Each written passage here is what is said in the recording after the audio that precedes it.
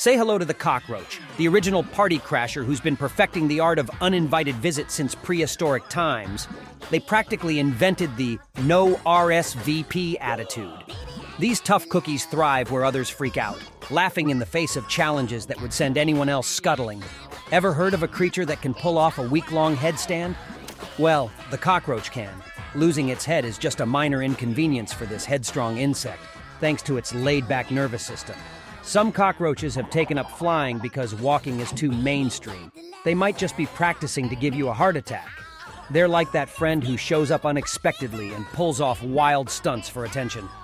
But don't judge too quickly. These party poopers actually play a crucial role as nature's cleanup squad feasting on scraps.